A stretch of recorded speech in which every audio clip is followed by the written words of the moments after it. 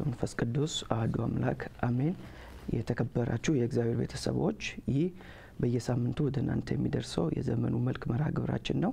እንደምታስታውሱት ላለፉት ሶስት ሳምንታት ስለ የእምነት ቃል እንቅስቃሴ የተለያዩ ሀሳቦችን ከወንድሞች ጋር እየተወያየን ነበር። ዛሬም የዛ ክፍል ቀጣዩን ይዘንላችሁ ቀርበናል። እስከ መርሃ ግብራችን ፍጻሜ ድረስ አብራችሁን ትቆዩ ዘንድ እንጋብዛችኋለን። ዛሬ ከተለመደው ውጪ አዲስ እንግዳ ይዘንላችሁ ቀርበናል። በተለይም ደግሞ በተለያየ ጽሁፎቹ የምታውቁት ዲያቆን አቤኔዘር ተክሉን በመካከላችን አለ። እንኳን ደህና መጣ። አቤኒ ለተመልካቾቻችን አዲስ አይመስለኝም። የተለያዩ መርሃ ግብሮች ላይ ቃለ ዓዋዲ ላይ ይመለከቱታል። ዛሬም እንግዲህ አቤኔዘርን ወደዚህ ስንጋብዘው ወንድማችንን አሁን በምናነሳው በተከታታይነት እየተመለከት ነው ባለው የእምነት ቃል እንቅስቃሴ በሚለው ሀሳብ ላይ ሰፋ ያለ ጥናት በማድረግ መጽሐፍም አበርክቶልናል። ወደ 311 ገጽ የሚፈጅ በስምንት ክፍሎች የተከፋፈሉ መጽሐፍ አበርክቶልናል። ተመልካቾቻችን ለበለጠም ደግሞ ስለዚህ ነገር ማወቅ ከፈለጉ መጽሐፉን እንዲያነቡ እንጋብዛቸዋለን። ዛሬም ደግሞ በምናነሳው የመጽሐፍ ቅዱስ ባለስልጣን ላይ አጠቃላይ ከእምነት ቃል እንቅስቃሴ ጋር ተያይዞ መጽሐፍ ቅዱስ እንዴት ይታያል የሚለውን ሀሳብ ወንድማችን አቤኔዘር ጋር እንመለከታለን ማለት ነው። አዎ ልክ ነህ። የእምነት ቃል እንቅስቃሴ ላይ እንዳልከው መጽሐፍ አዘጋጅቶ ለአንባቢያን አቅርቦልናል። ያን መጽሐፍ እንድታነቡ እየጋበዝን ወደ ዛሬው ርዕሰ ጉዳያችን እናልፋለን። ዛሬ የምናየው ስለ መጽሐፍ ቅዱስ ይሆናል። የመጽሐፍ ቅዱስ በተለይ ደግሞ በትምህርቶችም እንደምንሰማው መጽሐፍ ቅዱስ ባለስልጣን ነው፣ መጽሐፍ ቅዱስ ስልጣን ነው የሚሉ ቃላቶች እንሰማለን እና ከዛ ብንጀምር ምን ማለታችን ነው? እግዚአብሔር አምላካችን ስሙ ለዘላለም የተመሰገነ ይሁን። አሜን። እግዚአብሔር ስለረዳን ይህንንም ጊዜ ደግሞ ከእናንተ ጋር የእግዚአብሔርን ቃል እንድካፈል እግዚአብሔር ለሁላችንም ጸጋውን ስላበዛለን ስሙ የተመሰገነ ይሁን። እንግዲህ የመጽሐፍ ቅዱስ ስልጣን ስንል በጣም በአጭር ቋንቋ ስንመልሰው የእግዚአብሔር የራሱ ስልጣን ማለት ነው። እግዚአብሔር ሀሳቡን፣ ፈቃዱን፣ ምሪቱን ለሰው ልጆች የገለጠበትና የእርሱ የራሱ ስልጣን የተገለጠበት መጽሐፍ ማለታችን ነው ማለት ነው። ይህንንም እግዚአብሔር በተለይ በራሱ እስትንፋስነት ለቅዱሳን ሰዎች በመግለጥ ወይም በመንዳት ያደረገውና ወደ እኛ ያመጣው ነው ማለት ነው። ይህንን ቅዱሳት መጽሐፍት አበክረው ነው የሚነግሩን ማለት ነው። የመጽሐፍ ቅዱስ ስልጣን የራሱ የእግዚአብሔር ስልጣን፣ የራሱ የእግዚአብሔር ቃል፣ የራሱ የእግዚአብሔር እስትንፋስ እንደሆነ ማለት ነው። በተለይ ሐዋርያው ቅዱስ ጳውሎስ ለመንፈስ ልጁ ለጢሞቴዎስ በጻፈው መልእክት ምዕራፍ 3 ቁጥር 16 ላይ ሁለተኛ ጢሞቴዎስ ማለት ነው የእግዚአብሔር ሰው ፍጹምና ለበጎ ስራ ሁሉ የተዘጋጀ ይሆን ዘንድ የእግዚአብሔር መንፈስ ያለበት መጽሐፍ ሁሉ ይላል። የእግዚአብሔር መንፈስ ያለበት መጽሐፍ ይህ ማለት እግዚአብሔር የተነፈሰው እግዚአብሔር የተናገረው እግዚአብሔር ራሱ ስልጣኑን የተጠቀመበት ቃል ወይም መጽሐፍ ማለታችን ነው ማለት ነው። ስለዚህ ቅዱስ ጳውሎስ ቅዱሳት መጽሐፍትን ሲናገር እዚህ ጋር የሚነግረን በእርግጥ የብሉይ ኪዳን መጽሐፍትን ነው። አዲስ ኪዳን መጽሐፍት ገና ጠንቅቀው የተጻፉበት ጊዜ አይደለም። ይሄም የሚያመለክተን እነዚህ የብሉይ ኪዳን መጽሐፍት ስልጣናውያን መጽሐፍት ስልጣን ያላቸው የእግዚአብሔርን ስልጣን የያዙ የእግዚአብሔርን ስልጣን የጨበጡ መጽሐፍት መሆናቸውን እንመለከታለን።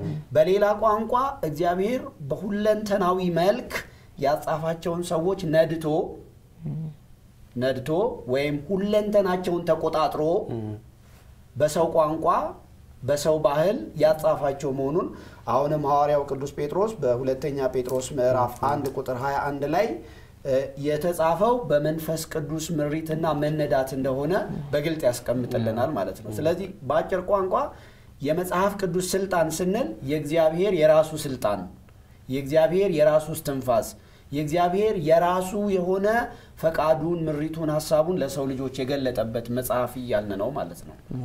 በጣም ጥሩ። ነባዚህ ላይ የምትጨምሩ ሀሳብ አለ? አቤኒ በሰዎች ሊረዱት በሚችሉ ቀለል ባለ አገላለጽ ገልጾታል። ይሄኛውን ለማጠንከር የእግዚአብሔር ሀሳብና የእግዚአብሔር እስትንፋስ የሚለውን ለማጠንከር ቅድም አቤኒ የጠቀሰው ነው ሁለተኛ ጢሞቴዎስ ምዕራፍ ሶስት ከቁጥር 14 ላይ ያለውን ከፍ ብዬ ለማንበብ ልሞክር። እንዲህ ነው የሚለው ቃሉ፣ አንተ ግን በተማርክበትና በተረዳህበት ነገር ጸንተህ ኑር፣ ከማን እንደተማርክ ታውቀዋለህና። ከሕፃንነትህ ጀምረህ ክርስቶስ ኢየሱስን በማመን መዳን የሚገኝበትን ጥበብ ሊሰጡ የሚችሉ ቅዱሳት መጽሐፍትን አውቀሃልና ይላል። እንግዲህ ክርስቶስ ኢየሱስን በማመን መዳን የሚገኝበትን ብሎ ሲያስቀምጥ እዚህ ላይ የእግዚአብሔር ትልቁ ዓላማ የሰዎች መዳን ነው። የእግዚአብሔር ትልቁ ሀሳብ ሰዎች እግዚአብሔርን በሚገባ እንዲያውቁት ከእሱ ጋር ህብረት እንዲያደርጉ ነው። ስለዚህ በዚህ መጽሐፍ ውስጥ የተጠቀሰው ነገር የእግዚአብሔር ትልቁ ዓላማ ነው። ልጁ ኢየሱስ ክርስቶስ የተገለጠበት ሰዎች ከሞት ወደ ህይወት የተሻገሩበት ማለት ነው።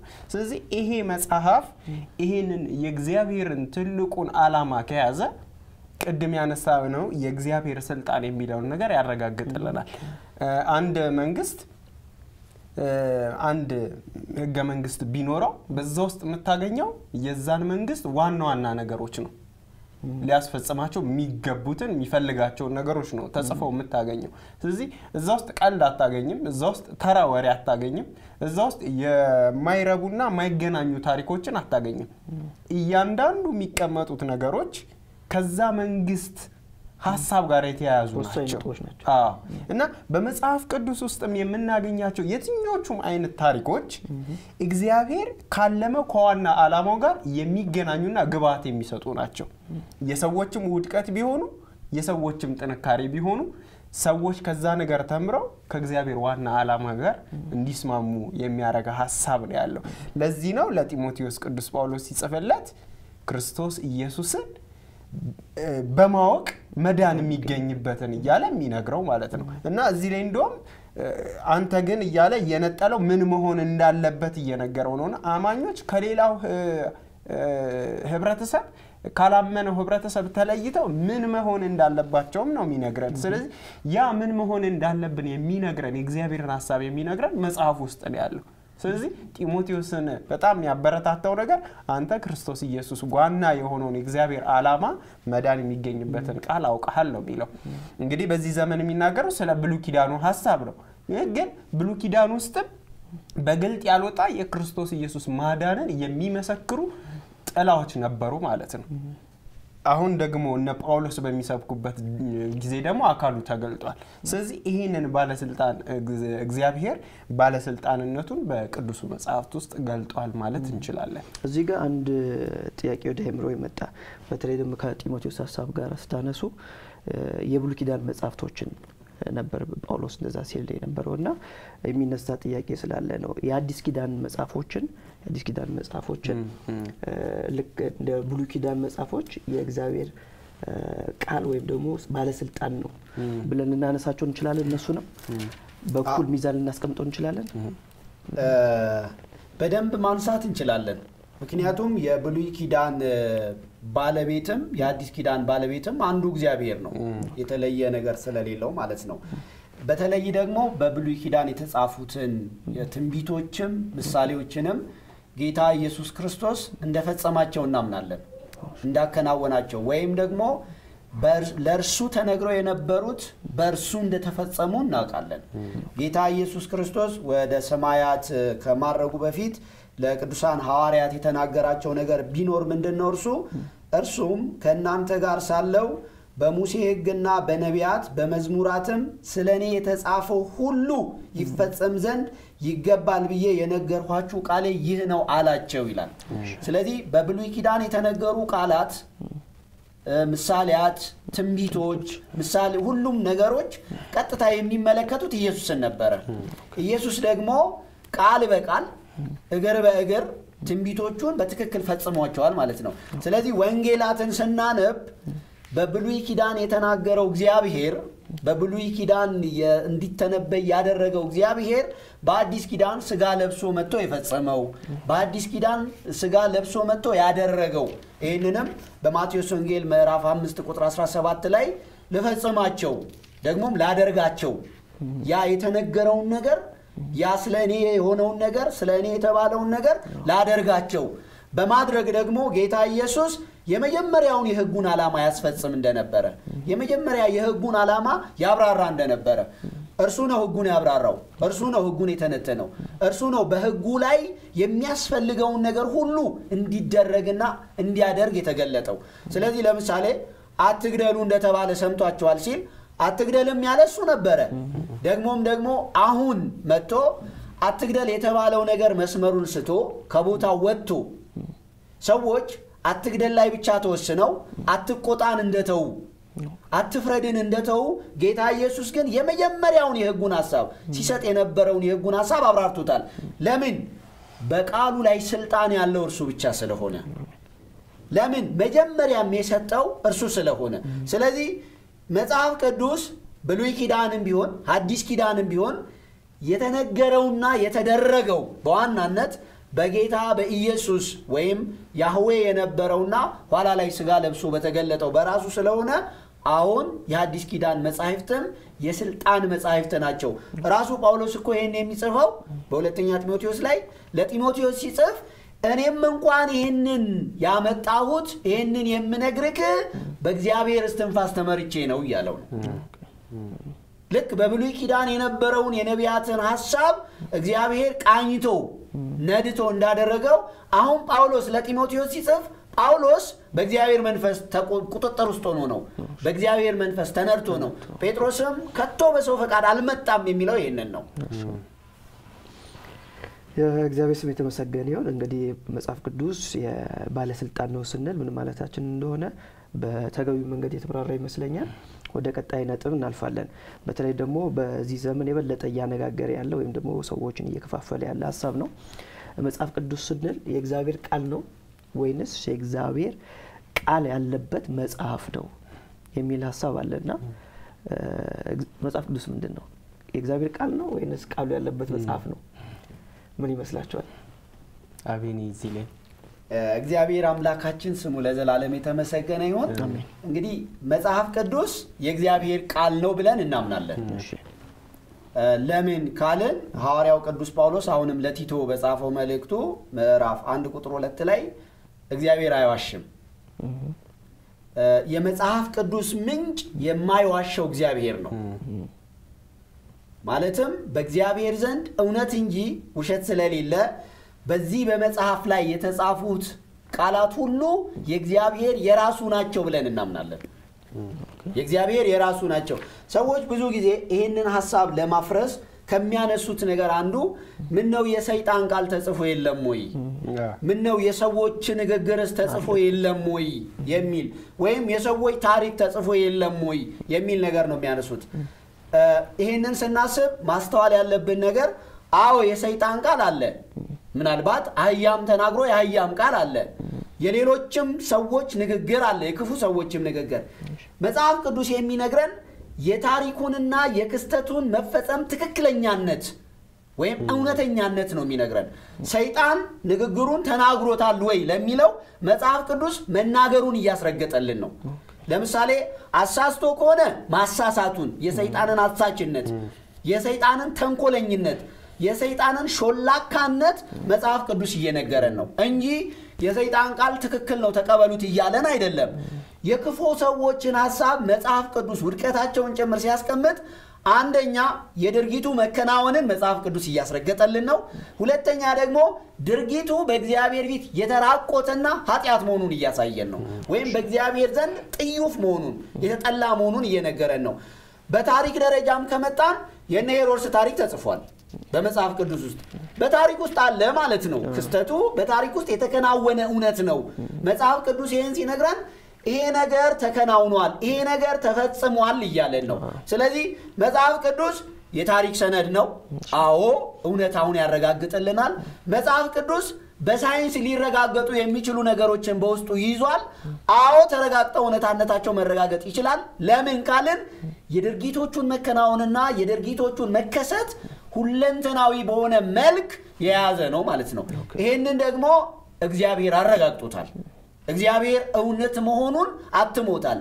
ስለዚህ መጽሐፍ ቅዱስ የራሱ የእግዚአብሔር ቃል ነው እንላለን እንጂ የእግዚአብሔር ቃል ያለበት ብለን ሌላውን የእግዚአብሔር እንዳልሆነ ሌላውን ደግሞ የእግዚአብሔር እንደሆነ አንነጋገርም። ለዚህ ነው መጽሐፍ ቅዱስ የእግዚአብሔር እስትንፋስ የእግዚአብሔር ቃል መሆኑን ራሱ መጽሐፍ ቅዱስ ከሦስት ሺህ በላይ ምስክሮች አሉት። በተለያየ መንገድ እግዚአብሔር እንዲህ ይላል፣ እግዚአብሔር እንዲህ ተናገረ፣ እግዚአብሔር እንዲህ ተገለጠ፣ እግዚአብሔር ለእገሌ እንዲህ በምሳሌ ተናገረ እያለ ከሦስት ሺህ በላይ ማስረጃዎችን የእግዚአብሔር ቃል የራሱ የእግዚአብሔር መሆኑን የሚያመለክቱ በቂ ማስረጃዎች አሉ ማለት ነው።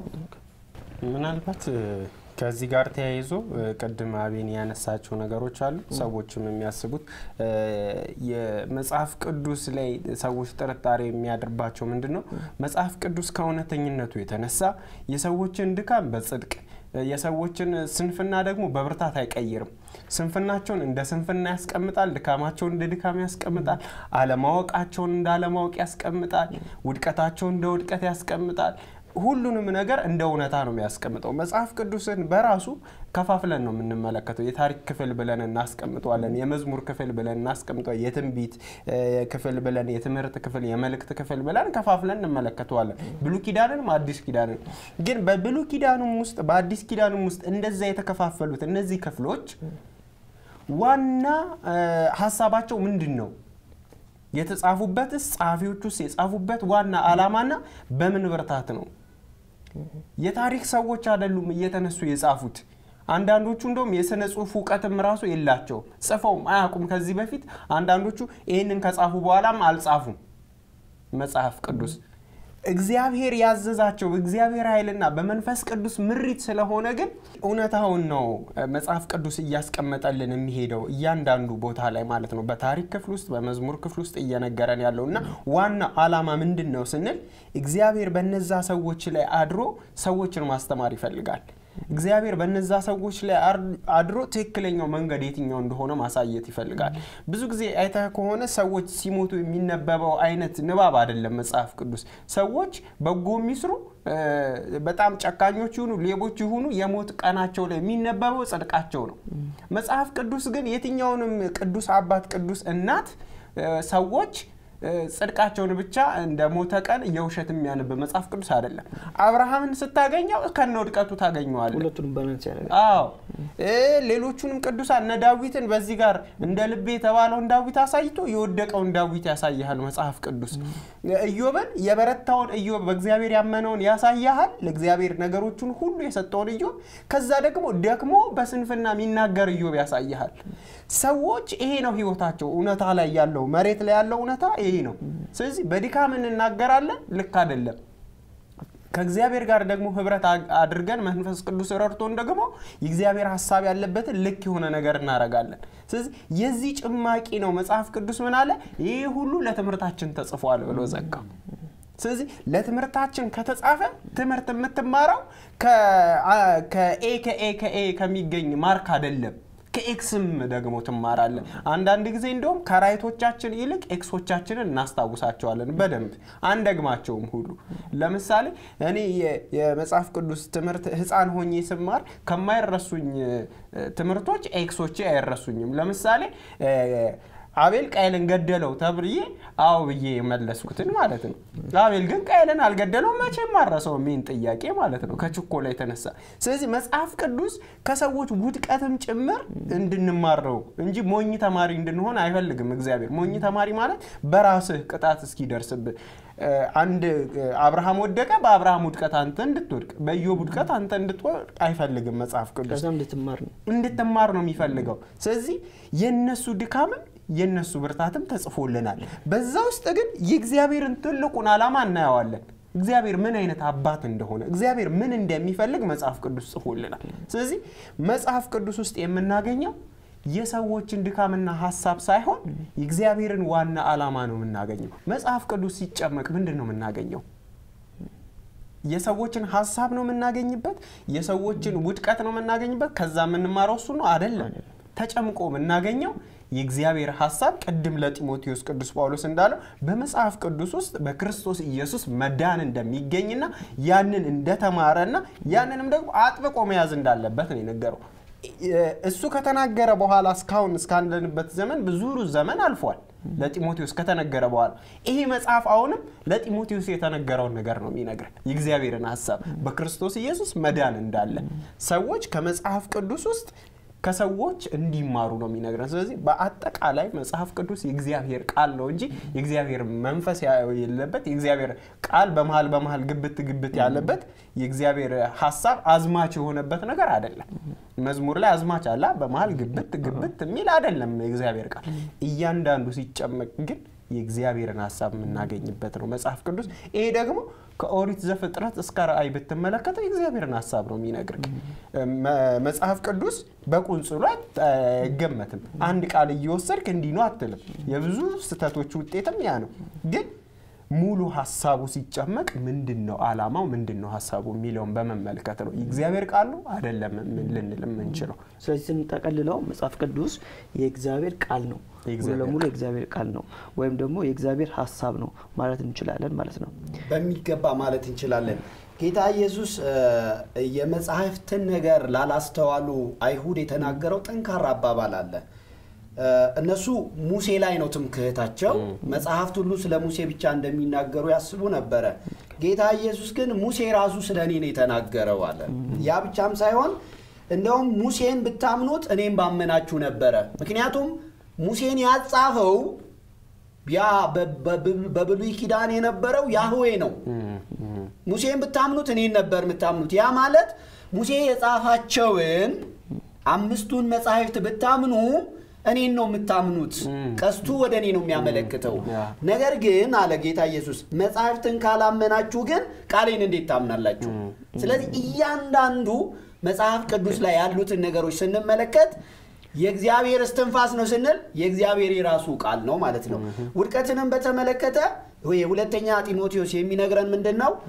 ምንድን ነው የእግዚአብሔር መንፈስ ያለበት መጽሐፍ ሁሉ ለትምህርት ነው የሚለን የመጀመሪያው ውድቀትም ቢሆን ለትምህርታችን የተጻፈው እንድንማርበት ነው ማለት ነው።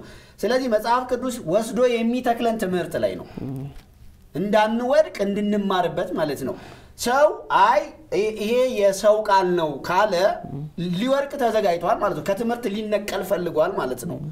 ግን እግዚአብሔር የሚያደርገው ለትምህርት ደግሞ ለተግሳጽ በትክክል ማለት ነው። ከወደቁ ሰዎች የምንማረው ተግሳጽ ነው።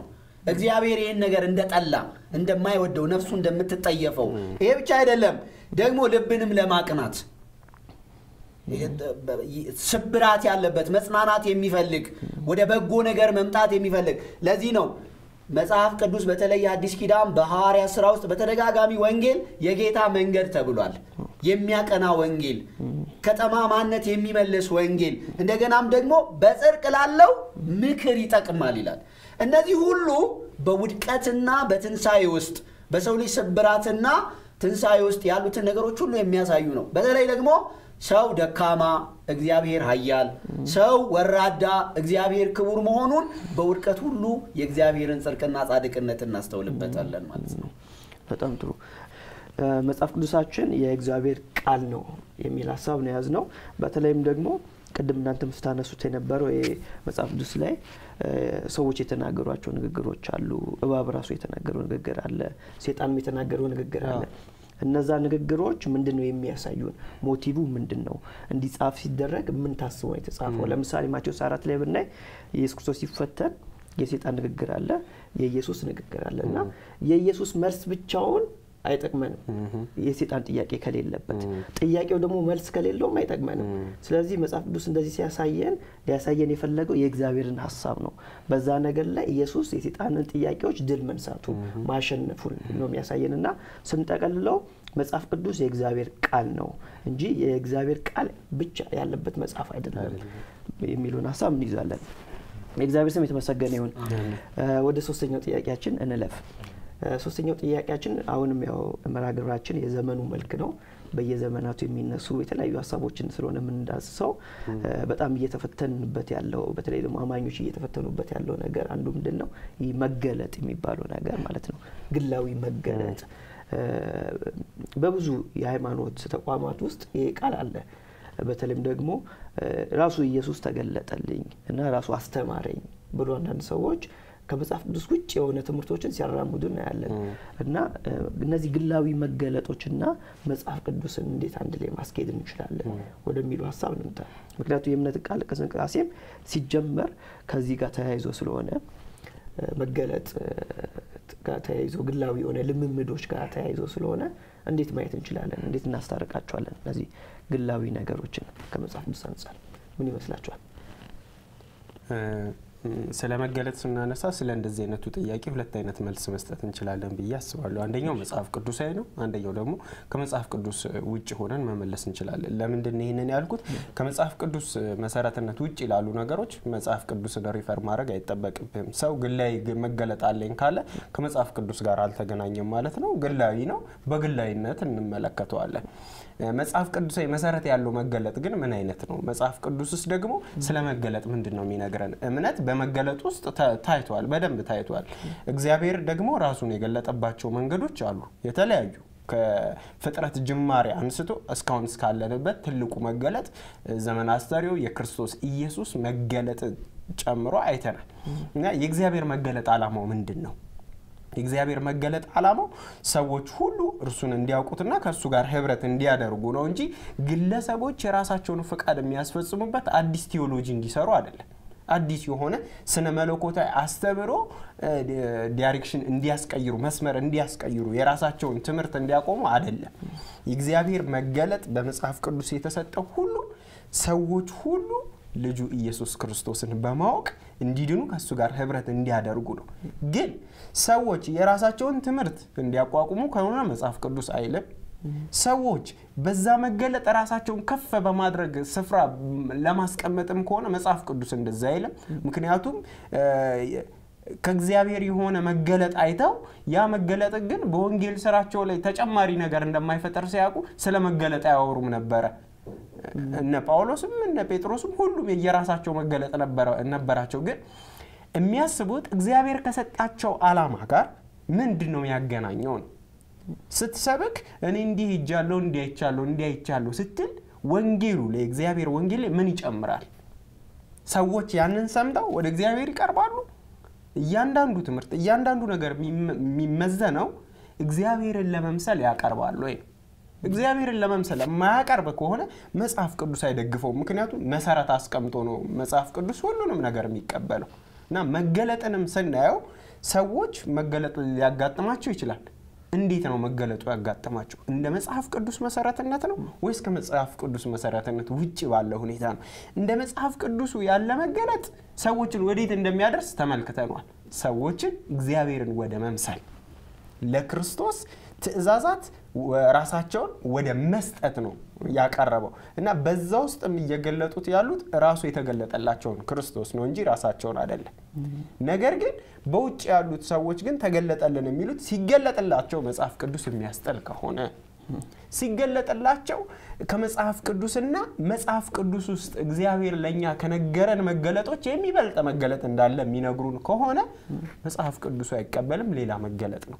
ስለዚህ ሌላ ወንጌል እንደምንለው እንዳለ ሁሉ ከወንጌል ውጭ የሆነ ሌላ መገለጥ አለ ማለት ነው።? ይሄ ሀሳብ ብዙ ጊዜ ከሁለት ነገሮች ጋር ሲምታታ ይታያል። አንደኛ ተገለጠልን የሚሉ ሰዎች ብዙ ጊዜ ራሳቸውን እንደ ጳውሎስ እንደ ጴጥሮስ አንዳንዴ ኢየሱስንም ወክለው እንደሚናገሩ አድርገው ይገልጣሉ። ይሄ በቀጥታ ደግሞ ቅዱሳን ሰዎችን እግዚአብሔር በመንፈስ ነድቶ አቅንቶ በቁጥጥራቸው ስራ አድርጎ እንደሰራው አይነት ስራ በእኔ ሰርቷል ብለው የሚቀርቡ ሰዎች አሉ። ለምሳሌ የእምነት እንቅስቃሴ አማኞች መምህራን አብዛኛዎቹ ራሳቸውን እንደዚህ ነው የሚገልጡት። ኢየሱስ እንደዚህ ተገለጠልኝ። ለምሳሌ ኬኔቴገን ራሱ እግዚአብሔር ለእኔ ኢየሱስ ማለት ነው ከስምንት ጊዜ በላይ ተገልጦ እንደዚህ እንደዚህ እንደዚህ አስተማረኝ ነው የሚለው። ይሄ ማለት ማለት ነው? ጳውሎስ በተናገረው ላይ እኔ ስልሳ ሰባተኛ መጽሐፍ ቅዱስ ሆኜ መናገር እችላለሁ የሚል ነገር ያመጣሉ። ይሄ ዋና ነገራቸው ነው። መገለጥን ሲያመጡ እነሱ ልክ እንደ ሐዋርያት ራሳቸውን ባለስልጣን አድርገው ነው የሚያመጡት። ራሳቸውን መንፈስ ቅዱስ በሐዋርያት ላይ መጽሐፍ ቅዱስን በጻፉ ሰዎች ላይ እንደሰራ አይነት ስራ በእነሱም እንደሰራ አድርገው ነው የሚያቀርቡት። ሁለተኛዎቹ ደግሞ የመንፈስ ቅዱስን ጸጋ በማምታታት የሚመጡ ናቸው። ለምሳሌ መንፈስ ቅዱስ ስራውን አንከለክልም፣ ዛሬም ይሰራል። ይገልጣል፣ አብርሆት ይሰጣል። በኢየሱስ የሰራው እግዚአብሔር ኢየሱስ በምድር ላይ ያስተማረውን ወንጌል እግዚአብሔር መንፈስ ቅዱስ ዛሬ ይገልጣል፣ ያብራራል፣ ይተነትናል። ይህን እናምናለን። የመንፈስ ቅዱስን ጸጋ አንክድም። ሰዎች ይህንን ነገር ስንቃወም ይህንን ነገር ከመጽሐፍ ቅዱስ አይደለም ስንል ጸጋ የምናክፋፋ የሚመስላቸው ሰዎች አሉ። የመንፈስ ቅዱስን ስራ ዛሬ አናክፋፋም። ጸጋውንም እኛ የመከልከል ስልጣን የለንም። መንፈስ ቅዱስ አንድ ነው፣ እንደወደደ ግን ይሰራል። ነገር ግን መገለጥ በሚል ስውር ሀሳብ ውስጥ ሰዎች የተገለጠላቸው በመንፈስ ቅዱስ ይመዘን ሲባል እምቢ ካሉ ግን ችግር አለ ማለት ነው። ምክንያቱም የትኛውም መገለጥ፣ የትኛውም ማስተምህሮ፣ የትኛውም ስብከት፣ የትኛውም መጽሐፍ በግለሰብ የተጻፈ ከመጽሐፍ ቅዱስ ውጭ የሆነ በዚህ ሊዳኝ ይገባዋል። በዚህ ሊመዘን ይገባዋል። በዚህ ካልተመዘነ፣ በዚህ ካልተዳኘ በዚህ ተመዝኖ በዚህ ተዳኝቶ ከመጽሐፍ ቅዱስ ጋር ካልተስማማ ከእግዚአብሔር አይደለም። ነባ ያለው ነገር አለ። ከውጭ የመጣ አይደለም። እንደውም ከውጭ የመጣማ እንደተባለውም ከውጭ ነው። በእግዚአብሔር ስም ከተነገረ በኋላ ከእግዚአብሔር ቃል ጋር መስማማት አለበት። ለዚህ ነው ከሐዋርያት በኋላ የተነሱት አባቶች ከሐዋርያት በኋላ የተነሱት አባቶች እስከ ሶስተኛ መቶ ክፍለ ዘመን የነበሩ የቤተ ክርስቲያን አባቶች የሚባሉት የቤተ ክርስቲያን አማድ የሚባሉ አባቶች ለመጽሐፍ ቅዱስ ሙሉ እውቅና ከመስጠታቸው የተነሳ ከመጽሐፍ ቅዱስ ውጭ ሌላ መገለጥ እንደሌለ ሲያስረዱ ከመጽሐፍ ቅዱስ የተጠቀሟቸው ብዙ የመጽሐፍ ቅዱስ ክፍሎች እናያለን። ለምን? እነሱ የተለየ መገለጥ አያመጡም። ለምሳሌ ተርቱሊያን ከወንጌላት ውስጥ 1107 ጥቅሶችን ወስዷል። ለምን? በራሱ የተለየ መገለጥ የለውም። ተርቱሊያን የቤተ ክርስቲያን ትልቅ አባት ነው። ከሐዋርያው ከቅዱስ ጳውሎስ መልእክታት ውስጥ እንደገና ማለት ነው ተርቱሊያን 3822 ጥቅሶችን ወስዶ ተጠቅሟል። ለምን? ተርቱሊያን ትልቅ አባት ነው። በብዙ ጽሁፎቹ የምናውቀው ነው። በትምህርተ ስላሴ በጣም የምናውቀው አባት ነው። ምን ነው የራሱን መገለጥ አላመጣም? ምን ነው ከወንጌላትና ከቅዱስ ጳውሎስ መልእክታት ወሰደ? ልዩ መገለጥ ስለሌለ ነው። እንደገና አውሳቢዎስ የተባለው ቤተክርስቲያን አባት ከቅዱስ ጳውሎስ መልእክታት 3258 በጠቅላላ በዚያ ዘመን የነበሩ አባቶች ወደ 19368 ከወንጌላትና ከጳውሎስ መልእክታት ወስደው ተጠቅመዋል። ይሄ ምንድን ነው የሚያሳየን? የጥንት አባቶች ለሚጽፉት ጽሁፍ ዋቢያቸው መጽሐፍ ቅዱስ ነው፣ የኢየሱስ ቃሎች ነው። ምክንያቱም መንፈስ ቅዱስ ሲመጣ ኢየሱስ የተናገረውን ነው የሚያስታውሰው እንጂ ሌላ እንግዳ ትምህርት አያመጣም። የዕብራውያን ጸሐፊ ለዚህ የተናገረውን ነገር ማንሳት በጣም አስፈላጊ ነው። ከጥንት ጀምሮ እግዚአብሔር በብዙ አይነትና በብዙ ጎዳና ለአባቶቻችን በነቢያት ተናግሮ ሁሉን ወራሽ ባደረገው ደግሞም ዓለማትን በፈጠረበት በልጁ በዚህ ዘመን መጨረሻ ለእኛ ተናገረን ይላል። ምዕራፍ አንድ ቁጥር አንድ ላይ የመገለጦች ሁሉ ዳርቻ ወሰኑ ኢየሱስ ነው። ኢየሱስ ጋር ሰው መጥቶ ለመስማማት ካልፈለገ ከኢየሱስ ውጭ ነው። በኢየሱስ ስም እንኳ ቢመጣ ማለት ነው። እንደውም በዚህ ዘመን በጣም መጠንቀቅ ያለብን በፊት የምንሸወደው የምንታለለው በቅዱሳን ስም የመጣ በመጣ ጉዳይ ነው። አሁን ግን በደንብ እየተታለል ያለ ነው በኢየሱስ ስምና በመጽሐፍ ቅዱስ በመጣ ጉዳይ ነው።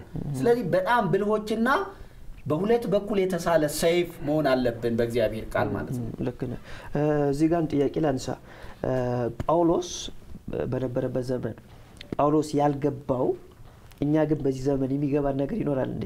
ለምሳሌ አንዴ የምንሰማው እንግዲህ መጽሐፍ ቅዱስ ላይ እንደሚነግረን ጳውሎስ ታሞ ነበር እና በዚህ ዘመን ያሉ ደግሞ አስተማሪዎች ሲናገሩ ያኔ ጳውሎስ ስላልገባው ነው የታመመው።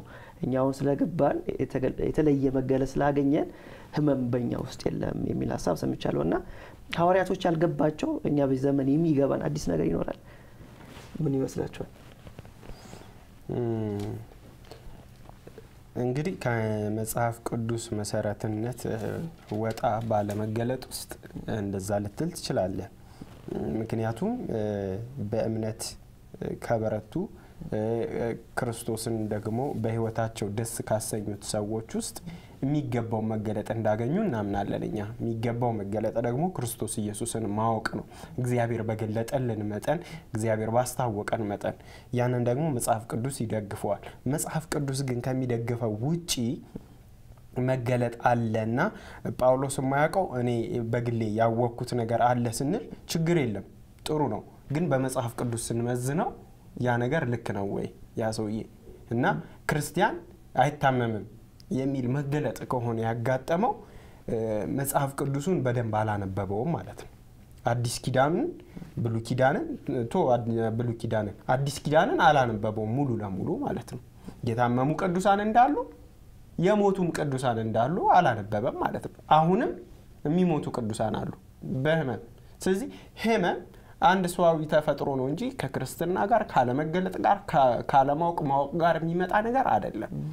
ግን በመጪው ዘመን የሚኖረንን ህይወት አሁን መጥራት ከሆነ እሱ እግዚአብሔር ባለው መንገድ ነው እንጂ በሰው ምኞት ወደ እኛ የሚመጣ ነገር አይደለም። አሁን አለመታመም ምድርን ገነታዊ አይነት አድርጎ ለመኖር ማሰብ መሻት እሱ ወደፊት የምንጠብቀው ተስፋችን ነው እንጂ አሁን የተፈጸመ አይደለም። በምኞት ደግሞ የእግዚአብሔርን ካላንደር መገለባበጥ ስለማይቻል እንደ እግዚአብሔር ቃል ያንን ህይወት መጠበቅ ይሻላል እንጂ ያንን ህይወት አስቀድሞ አሁን ላይ ታይቶኛል፣ አሁን ላይ ተገልጦልኛል፣ አሁን ላይ መኖር እችላለሁ የሚለው አስተሳሰብ ከመጽሐፍ ቅዱስና ከክርስትና ዋና ዓላማ አሁንም ልንኖረው ከሚገባ ደግሞ መንፈሳዊ ህይወት ጋር ትንሽ አይስማማም። ይህ የበሽታን ጉዳይ በሚቀጥለው መርሃ ግብራችን ላይ በሰፊው እንመጣለን። የተለየ እውቀት የተለየ እውቀት ይኖረናል በዚህ ጊዜ ሐዋርያቶች ያልነበራቸው ወይም ደግሞ በሌላ አገላለጽ መጽሐፍ ቅዱሳችን ዝግ ነው ነው አዲስ መጽሐፍ አሁን ልንጨምርበት እንችላለን። ዝግ ነው ማለት እንችላለን። አዎ እርግጠኞች ሆነን ዝግ ነው ማለት እንችላለን። ማለት አው የቅድሙን ሀሳብ እኮ አውዱን ሄደን ስንመለከት እኮ ጳውሎስ ስላልተረዳው አይደለም። ጳውሎስ አውቆታል። ክፍሉን ሄደን ስናነበው ጳውሎስ አውቆታል። ማወቁን የምንረዳው በምንድን ነው? ኃይልህ በድካሜ እንዲበረታ ብሏል። በቃ ደምድሞታል። ጳውሎስ እዛ ጋር ስላልገባው ሳይሆን ገብቶት ተቀብሎታል። እግዚአብሔር በእርሱ ሊሰራ ያለውን ነገር በትክክል ተቀብሏል። ለምንድን ነው እኔ እግዚአብሔር ይሄን ያደረግኩት የሚለውን ሀሳብ ጳውሎስ ሲተነትነው የእግዚአብሔርን ሀሳብ በቃ የእግዚአብሔር ኃይል በእኔ በደካማው ላይ እንዲገለጥ ብሏል። እርግጥ ነው በሽተኛ ነው። አዎ በሽተኛ ነው። ግን በዚያ ድካም ውስጥ እግዚአብሔር ኃያል ነው። እግዚአብሔር ሰራተኛ ነው። ጳውሎስ በራሱ እንደሰራው አያስብም። የጳውሎስን ሀሳብ በተለይ ከጻፋቸው መልእክቶች ውስጥ ሄደን ስንመለከት ጳውሎስን በደንብ ማወቅ ስራዎቹን በደንብ እንድናውቅ ይረዳናል። ጳውሎስ እንዲህ አይነት ጥያቄ ተነስቶበታል። ማለት የሚያስተምረው ትምህርት ከጌታ መገለጥ አይደለም፣ ጌታ ነድቶት አይደለም የሚል ነገር እዚያ እኮ ገላትያ ላይ በደንብ ተነስቷል። ገላትያ አንድ አንድ ላይ ሲናገር እሱ ምንድን ነው እርሱ የሚለው ከሙታን ትንሣኤ በተነሳው ነው የሚለው። ከሙታን ትንሣኤ ኢየሱስን እንዳየው ይናገራል ጳውሎስ። ሐዋርያ የሆነውም ደግሞ በሰውም አይደለም ከሰውም አይደለም ይላል። ለምንድን ነው ጳውሎስ ሐዋርያ አይደለህም ከተባለ ትምህርቶችም ሐዋርያዊ አይደሉም ሊባል ነው። ይህን በጣም ነው የሚከላከለው ጳውሎስ። ለምንድን ነው የሚከላከለው? የኢየሱስን ወንጌል በኢየሱስ ትንሣኤ አይቶ ተረድቷል። ይህንን ፊልኪስ ፊት ሲናገር የሐዋርያት ሥራ ምዕራፍ 26 ቁጥር 16 ላይ ነገር ግን ተነሳና በእግር ቁም፣ ስለዚህ እኔን ባየህበት ነገር ለአንተም በምታይበት ነገር አገልጋይና ምስክር ትሆን ዘንድ ልሾምህ ታይቼልሃለሁና ይለዋል። ኢየሱስን አይቶታል። ጳውሎስ ያየውን ነው አሁን እየመሰከረ ያለው። ካየው ውጪ ጳውሎስ አልጨመረም፣ ካየውም ነገር ላይ ደግሞ አልቀነሰም። ስለዚህ ቅዱሳት መጻሕፍት እግዚአብሔር ባስቀመጠው ቅንብብ ውስጥ በመንፈስ ተነርተው ጽፈው ደምድመው አትመውታል። በዚህ ላይ መጨመር አንችልም። መቅሰፍት ይጨመርብናል። ከዚህ ላይ መቀነስ አንችልም። ከእግዚአብሔር ከተማ ከቅድስቲቱ እንቀነሳለን። ስለዚህ መጽሐፍት በእግዚአብሔር ዘንድ ሊነገር የተፈለገው ሊነገር የተወሰነ ሁሉ ተነግሯል። ስለዚህ ሰፊ የቤተ ክርስቲያን ታሪኮች አሉ። ሰፊ የቤተ ክርስቲያን ትምህርቶች አሉ። ለመጨረሻ ጊዜ ቅዱሳት መጽሐፍትን ያሳወቀውና በእኛም ቤተ ክርስቲያን በጣም የሚታመነው ሐዋርያው ቅዱስ አትናቴዎስ በካርቴጅ ጉባኤ በ367 ዓመተ ምህረት ባደረገው ውሳኔ ላይ 27ቱን የሐዲስ ኪዳን መጻሕፍት ቀንኖ አስቀምጧል። የብሉይ ኪዳን መጻሕፍት ደግሞ ባለቤቶቹ አይሁዳውያን ናቸው።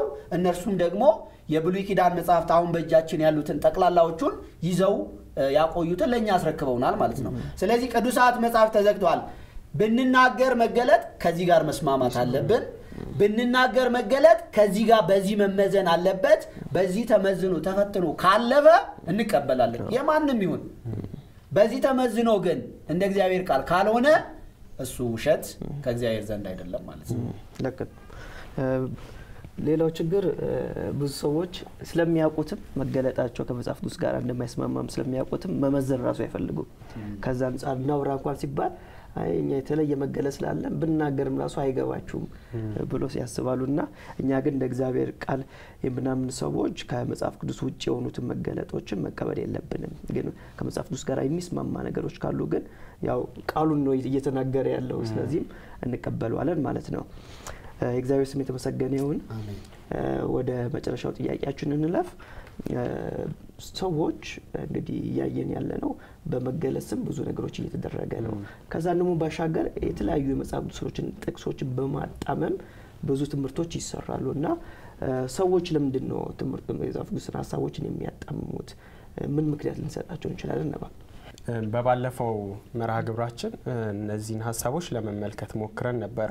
ሰዎች ለምንድን ነው በእንደዚህ አይነት ትምህርቶች በቀላሉ ሊሳቡ የቻሉት የሚለውን ሀሳብ ስንመለከት አንደኛ መጽሐፍ ቅዱሳዊ መሰረት ያሌላቸው ነገር ግን የመጽሐፍ ቅዱስን የተቆነጻጸሉ ሀሳቦችን በመውሰድ ለራስ ፍላጎት ስለሚውሉና በጣም ትኩረታቸው የሰዎች ፍላጎት ላይ ስለሆነ ሰዎች በዚህ ሰዓት ደግሞ የኑሮ ነገር በጣም ስለሚያስጨንቃቸው ትግል ስለሚበዛባቸው ከዛ በላይ መሆን ይፈልጋሉ፣ ከኑሮ በላይ መሆን ይፈልጋሉ፣ ከችግር በላይ መሆን ይፈልጋሉ። እና ዋስትና የሚያገኙት በነዚህ ሞቲቬሽናል በሆኑ ወይም አነቃቂ በሆኑ የእግዚአብሔርን ቃላት አላስፈላጊ ቦታና በሰዎች ፍላጎት በመጠቀም እንደሆነ ተመልክተን ነበረና አሁንም የምንመለከተው ችግሩ መጽሐፍ ቅዱስን እንዴት መፍታት እንዳለብን የመጽሐፍ ቅዱስ ትምህርት ቤቶች ቤተ ክርስቲያንም ታስተምራለች። መጽሐፍ ቅዱስን ሰዎች መጽሐፍ ቅዱሱም እንደሚለው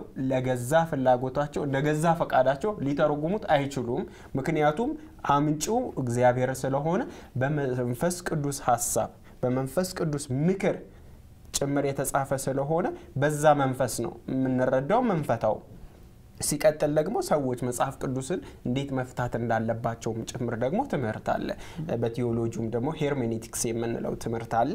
እንዴት መጽሐፍ ቅዱሶች በአውዱ መመልከት ይቻላል የሚለው እዚህ ትምህርት ላይ የምንመለከተው የእምነት እንቅስቃሴ ላይ ብዙዎቹን ከአውዱ ውጭ ነው የሚፈታው። አንድ ቃል ትወስዳለህ፣ ለምትፈልገው ዓላማ ታውለዋለህ።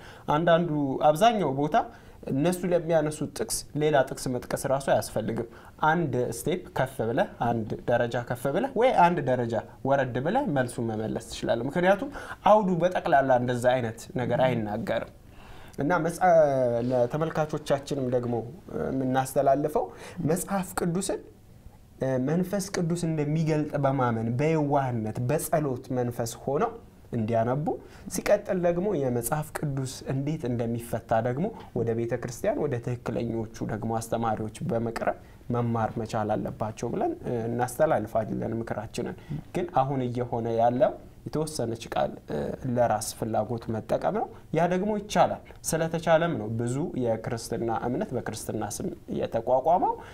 አሁን ደግሞ የሴጣንም ሀሳብ የሚደገፍበት የእግዚአብሔር ቃል እስኪሆን ድረስ ማለት ነው። የተለያዩ አጸያፊ ስነ ምግባሮች፣ አጸያፊ የሆኑ እምነቶች የመጽሐፍ ቅዱስ ግራውንድ ወይም አንዳንድ ሀሳብ እየያዙ እየተመሰረቱ እንደሆነ እንመለከታለን። ይህ ሁሉ ሰዎች የእግዚአብሔርን ቃል እያወጡ እንደ ጠላት ሀሳብ ለራሳቸው ፍላጎት ሊያውሉት ይችላሉ። ግን ልክ ነው ወይ ስንል አይደለም። መጽሐፍ ቅዱሱ እንደዛ አይልም። የተጻፈበትም ዓላማ ደግሞ ያ አይደለም። እግዚአብሔር ይመስገን። እንግዲህ ማጣመም የሚለውን ሀሳብ ዋናውን ሀሳብ ወይም ድርጊት በተሳሳተ መንገድ ማቅረብ ነው ብዙ ጊዜ ማለት ነው። ዋናውን ሀሳብ ማለት ነው። በተለይ እንዲህ አይነት አደራረጎችን ሐዋርያት ፊት ለፊት ነው የተጋፈጡት ማለት ነው። ለምሳሌ የሐዋርያት ሥራ ምዕራፍ 13 ቁጥር 10 ላይ ኤልማስ የተባለው ጠንቋይ አገረ ገዢው የእግዚአብሔርን ቃል ሊሰማ እየወደደ ግን እሱ ጣልቃ ገብቶ ያደረገውን ነገር ጳውሎስ በጣም ሲቃወም ምንድን ነው እሱ የሚለው አንተ ተንኮል ሁሉ ክፋትም ሁሉ የሞላብህ የዲያብሎስ ልጅ የጽድቅ ሁሉ ጠላት የቀናውን የጌታን መንገድ ከማጣመም አታርፍምን አለው። በጣም በአጭር ቋንቋ ሰዎች ወደ ጌታ እንዳይመጡ ማድረግ የመጀመሪያ የማጣመም ስራ ይሄ ነው። ሰዎች መጽሐፍ ቅዱስን የሚያጣምሙበት የመጀመሪያው ምክንያታቸው ልክ በብሉይ ኪዳን እንደነበረው የሐሰተኛ እረኞች ጠባይ ማለት ነው። በጎቹን የሚፈልጉት ቆዳቸውንና ስጋቸውን ቆዳቸውን ለመኝታ ስጋቸውን ለመብል ስለሚፈልጉ ነው እና ሸልተው ደግሞ ጥሩ ያማረ ልብስ ለመልበስ ነው። ዛሬም ሐሰተኛ አስተማሪዎች በዋናነት ሰዎችን ከኢየሱስ ጋር አገናኝቶ ዞር ከማለት ይልቅ ራሳቸው ጋር ማቆየት ነው የሚፈልጉት። ይሄንን ደግሞ በምንድን ነው የሚጠቀሙት? ቅዱሳት መጻሕፍትን ለራሳቸው በማጣመም ነው። እንዴት ነው የሚያጣምሙት የሚለውን ሐዋርያው ቅዱስ ጴጥሮስ በሁለተኛ ጴጥሮስ ምዕራፍ 3 ቁጥር 16 ላይ ሲናገር በእነዚያ ዘንድ ለማስተዋል የሚያስቸግር ነገር አለ ይላል። ማለት የሆነ ነገር ያነሱና ሲያብራሩልክ አልገባኝም ካልክ ያብራሩበት መንገድ ጠማማ ስለሆነ አልተገለጠልህም ይለዋል። ጴጥሮስ ይህን ነው የሚለው። በእነዚያ ዘንድ ለማስተዋል የሚያስቸግር ነገር አለ። ለምን? ሀሳባቸው ጠማማ ነው። የሚያደርጉት ሁሉ በጥመት ነው። የተገለጠውን የእግዚአብሔር ቃል ያወሳስቡብሃል። የተገለጠውን ኢየሱስ ለድሆች የሚስማማ ወንጌል ነው የነገረው። ገበያ ሄዶ የተናገረው የሚስማማ ወንጌል ነው። ኢየሱስን ዛሬ የሰማ ሰው ዛሬ ማመን ይችላል። ኢየሱስን ዛሬ ያየው ሰው ዛሬ አምኖ እሱን እንደ ጌታ አድርጎ ተቀብሎ መዳን ይችላል። እነርሱ ግን ሆን ብለው ማለት ነው ነገሩን ያጣምሙታልና ለማስተዋል የሚያስቸግር ነገር አለ ብሎ ያልተማሩትና የማይጸኑት ሰዎች ሌሎችም መጽሐፍት እንደሚያጣምሙ እነዚህ ደግሞ ለገዛ ጥፋታቸው ያጣምማሉ ይላል። ስለዚህ ለሐሳባቸው ለምሪታቸው ይህን በደንብ እናያለን። ለምሳሌ ቅድም ነባ አንስቶታል። አውድ አይጠነቀቁም። ለምሳሌ ኢየሱስ እንደኛ የእግዚአብሔር ልጅ ነው ይሉሃል። ግን አውዱ ላይ ሄደ ስታነብ ለምሳሌ ጳውሎስ ኢየሱስ የእግዚአብሔር ልጅ ብሎ ሲጠቀምና እኛ የእግዚአብሔር ልጆች እንደሆን ሲናገር በአውዱም በቃል አገባቡም ይለያያል። አማርኛው ልክ ነው። ልጅ ለሚለው የእግዚአብሔር ልጅ ነው ነው ለኢየሱስም እኛ የእግዚአብሔር ልጅ ለሆንበትም ልጅነት አንድ ነው የሚያስቀምጠው። ግን ሄደን ስንመለከተው አውዱን ሄደን ስናጠናው ይሄ አይደለም። ለምሳሌ ኢየሱስን ፕሮቶቶኮስ ነው የሚለው፣ እኛን ግን ፕሮቶክቲስቶስ ነው የሚለው። እንለያያለን ማለት ነው። እኛ የተፈጠረ ልጅነት ነው ያለን፣ የጸጋ ልጅነት ነው ያለን፣ ተፈጥረናል በእግዚአብሔር። ኢየሱስ ግን የተወለደ ልጅነት ነው ያለው ከአባቱ የተወለደ ከአባቱ በባህሪው የተገኘ ነው። ስለዚህ እሱ ፕሮቶቶኮስ ነው፣ ልዩ ነው። እንደውም ዮሐንስ ደግሞ ሞኖጌኔስ ነው። እሱ አንድና ብቻ ነው፣ አንድና ብቻ ነው። ተከታይ የለውም፣ ቀዳሚም የለውም ማለት ነው። ስለዚህ ሲናገሩ ግን እነሱ እኛን ወደ ኢየሱስ ያስጠጉናል፣ ከዛ ወደ እግዚአብሔር ያስጠጉናል። ይሄ ማለት ማለት ነው ከአውዱ ቦጭቀው ያወጡና አውዱን ክፍት አድርገው በዚህ በግድ እንድናምን ያደርጉናል ማለት ነው። ስለዚህ ማጣመምን በተለይ በጣም ነው መጠንቀቅ ያለብን። ቴሌቪዥን በተለይ ስንከታተል ውድ አድማጮቻችንና ተመልካቾቻችን በተለይ የቴሌቪዥን መርሃ ግብሮችን ስንከታተል፣ ስብከቶችን ስንከታተል አንባቢው ሲያነብ ብቻ አይደለም ማመን ያለብን። አንባቢው ያነበበው እንደ ቃሉ ይላል ወይ? አንባቢው ያነበበው በትክክል የእግዚአብሔር ቃል ነው ወይ የሚለውን መጽሐፍ ቅዱስ ከጎናችን አስቀምጠን የሚነበበውን አብረን ማንበብ የሚነገረውን አብረን መከታተልን መልመድ አለብን። ሐሰተኞች ብዙ ጊዜ የሚጠቀሙበት መንገድ ይላል ይሉናል እንጂ ከመጽሐፉ አንብበው ይላል አይሉንም። ይህን በጣም ማስተዋል አለብን።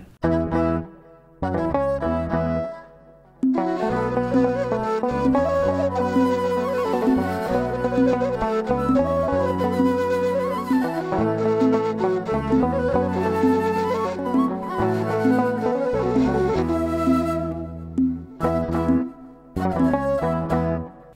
ስለ ሁሉም ነገር የአምላካችን የእግዚአብሔር ስም ለዘላለም የተመሰገነ ይሁን። እንግዲህ ይሄንን የሐሰት ትምህርት በተለይ ወንድሞቻችን እንዲህ ያለ መርሃ ግብር በማዘጋጀታቸው እግዚአብሔር ይባርካቸው። በእውነት እግዚአብሔርን እናመሰግናለን።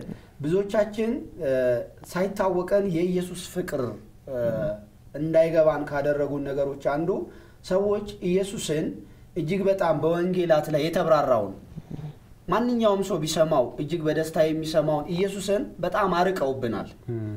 አንብበን እንዳንረዳው፣ ወንጌላትን አስተውለን እንዳንረዳው ኢየሱስን የክብር የባለጠጋ የልዩ ሰዎች ለልዩ ሰዎች የሚገለጥ ለልዩ አገልጋዮች የሚታይ አድርገው ስለውብናል። ነገር ግን ኢየሱስ ለየትኛውም የኑሮ ደረጃ ላይ ላሉ ሰዎች ወገኖች በየትኛውም ቋንቋ እንናገር፣ በየትኛውም የኑሮ ደረጃ ላይ እንኑር፣ ኢየሱስ ለእያንዳንዳችን የተብራራ የእግዚአብሔር ቃል ነው። ማንም ባያስረዳን መንፈስ ቅዱስን በእውነት ከተማጸን ነው ወደ መንፈስ ቅዱስ ሁለንተናችንን በእርሱ ላይ ደገፋችንን ካደረግን በእርሱ ላይ ከተጠጋን ኢየሱስ በየትኛውም የኑሮ ደረጃ መጠጋት መምጣት የሚችል ነው። ይህን በደንብ ነው ማስተዋል ያለብን። በተለይ ኢየሱስን የክብር አድርገው ሲያመጡት የዚህ ምድር መገለጫ፣ የዚህ ምድር መታያ፣ የዚህ ምድር መገልገያ፣ የዚህ ምድር ቁሳዊ መገለጫ አድርገው ሲያመጡት ከወንጌል ጋር ፊት ለፊት ነው የሚላተሙት። ኢየሱስ የአባቱን ፈቃድ ፈጻሚ ነው። ኢየሱስ አባቱን ወዳጅ ነው። ኢየሱስ ጽድቅ ወዳጅ ነው። ኢየሱስ የመንግሥተ ሰማያት ነገር ተንታኝ አስረጅ አባት ነው። ይህንን በደንብ መመረዳት ነው ወደ ቅዱሳት መጻሕፍት መምጣት ያለብን። ደግሜ እላችኋለሁ ማናቸውንም ነገር መፈተሽ ካለባችሁ ቃሉ ይላል ወይ እግዚአብሔር ተናግሯል ወይ ኢየሱስ ብሏል ወይ መጽሐፍ ቅዱስ ብሏል ወይ የሚለውን ነገር በደንብ አድርገን መመርመርን መልመድ መቻል አለብን ማለት ነው። ይሄን እንድናደርግ እግዚአብሔር በጸጋ ሁላችንን ይደግፈን። እግዚአብሔር ለሁላችን ይህንን እድል ስለሰጠን ደግሞም በፊቱ እንድንሆን ስለረዳን ከዘላለም እስከ ዘላለም ስሙ የተባረከ ይሁን። አሜን አሜን።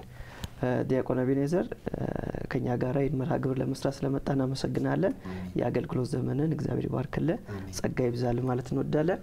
ውድ የዘመኑ መልክ መርሃ ግብር ተከታታዮች የዛሬው መርሃ ግብራችን ይህን ይመስላል። ሳምንት በዚህ ጉዳይ ላይ ተከታዩን ክፍል ይዘንላችሁ እንቀርባለን። እስከ ሳምንት የጌታ ጸጋና ሰላም በያላችሁበት ይሁን።